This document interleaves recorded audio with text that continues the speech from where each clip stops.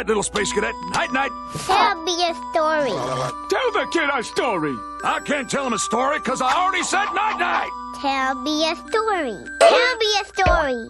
All right, I'll tell you a story. A bird come to fly, and he fly very high. Squirrel see him and go, I'm mad at my mom and dad. I like you. You fly too high, you should come down. Bird don't listen. Instead, he goes to the moon. And when he lands on moon, he say, What? There's no vegetables here. I really need my fruits and vegetables.